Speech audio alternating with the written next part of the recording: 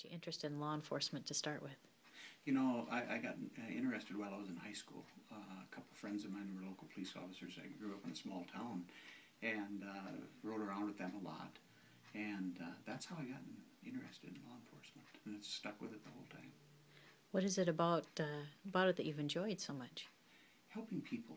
That's, I, I think, if, if everybody can feel like you've done something to help people uh, in the corrections field, I was always hoping that we could send somebody out the door of the jail better than when they come in, whether it's with their diploma, high school diploma, uh, or a job, some job experience.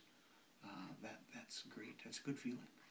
How is that translated into owning your own business now as a private investigator? This is altogether different.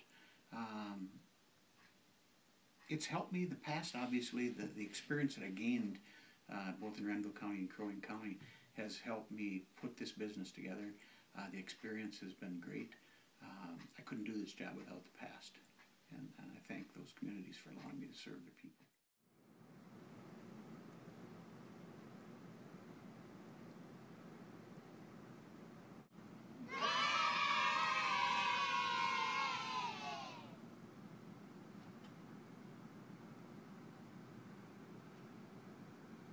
So there's been a real variety of stuff.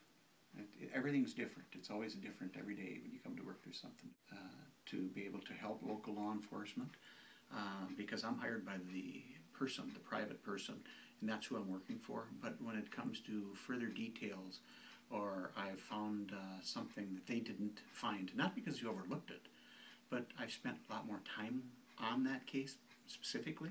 I might have asked some people and found some witnesses that they weren't aware of. Sometimes people come up a little bit later, but I want to work with law enforcement in every way that I can to help the case, help what they're doing, and uh, for justice.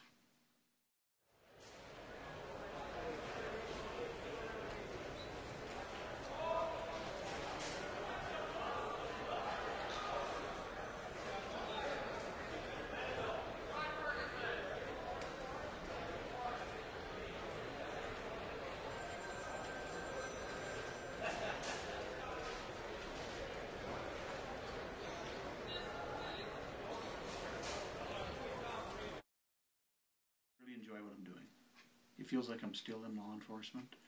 Uh, and again, I'm licensed by the Department of Public Safety as a private detective and the Private Detective Board. So it's just another part of law enforcement, is what it is. And how many hours of investigations do you have altogether in your throughout your career? I had uh, that I've documented uh, uh, close to 10,000 hours actually. You needed five for your license. But at the time I was doing all the work in different areas, I never knew that I was going to end up doing this, so I, you know, you don't keep track of that.